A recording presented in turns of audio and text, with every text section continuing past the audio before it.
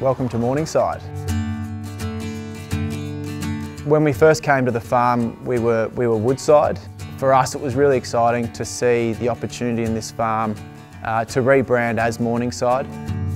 So Morningside now is basically a family operation uh, with some really important staff and, and obviously vets, farriers and, and the like are all there too. But the core of our business now is myself, my brother Tom, my father who's, who obviously owns the business and prior to that my grandfather who was involved.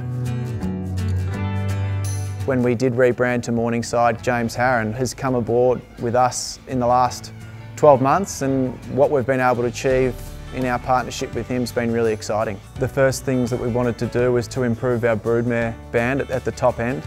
And in the last 12 months we've bought some fantastic mares. Um, obviously starting off at the chairman's sale, we bought Ludicia in foal to Kingman and she's produced a lovely filly. First foal, absolute cracker, and, and she's just a pitcher as well. Followed by Rubisaki, a three-time group winner.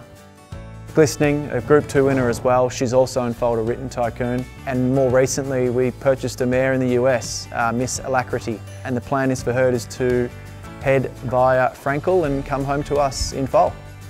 So yeah, we've been able to uh, improve at the top end considerably in just 12 months. The farm itself just a, is just a bit over a thousand acres with six kilometres of Goulburn River frontage, which is fantastic for, for the horses and, and for us too. And about 200 acres of those is, is sown down to Lucerne uh, with flood irrigation. Obviously our proximity to the river is wonderful at the best of times, but uh, in late October last year we were uh, impacted heavily by the floods. Over a third of the farm was underwater. So early in the day the water had only just broken the, the bank. The only horses that happened to be on the other side of the river were Rubisaki, Glistening and a few more of our brand new, highly invested in mares.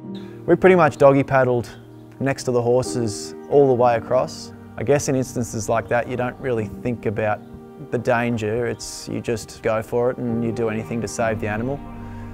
I, I guess we count ourselves as like one of the lucky ones as far as damage goes. A lot of people had a lot of damage, lost livestock. The soils here aren't boggy, so a lot of that water was able to run off over the month following the flood. You know, you say they're things, but you can't prepare yourself for the devastation of, of how it came through.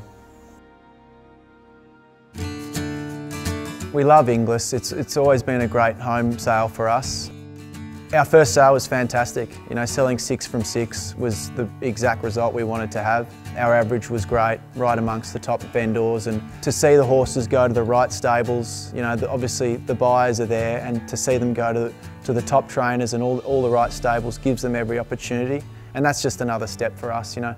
There's only so much we can do here. Um, it's, it's, it's afterwards that's also just as important. So to get that tick that they're going to the right place for us was really exciting. And, and I think Inglis provide that. They make sure that we've got the buyers there and every horse gets, it gets its opportunity. We broke our Morningside maiden with one of the six uh, that we sold at Melbourne Premier last year. Really exciting to see our Dundeal colt trained by the Hawkes team and owned by Rupert Lee. Fists of Fury's got it. Fists of Fury, easy in the end.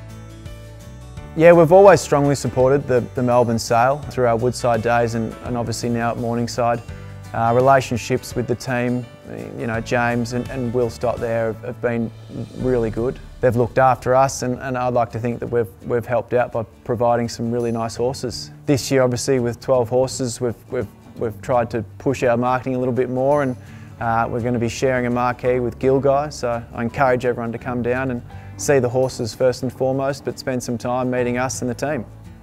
Off the back of Fists of Fury uh, winning last week, uh, it'd be foolish of me not to mention one of our Dundeal colts out of our mare Slippery When Wet. He's got size, scope, and he's got a lovely action. Uh, wait till you see him walk. Come down and have a look.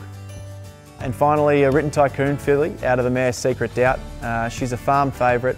She's produced operative. Uh, Coolmore bought him at the uh, Inglis Easter sale a few years ago. Uh, she's got substance, she's got a huge girth, great hind quarter and a lovely temperament.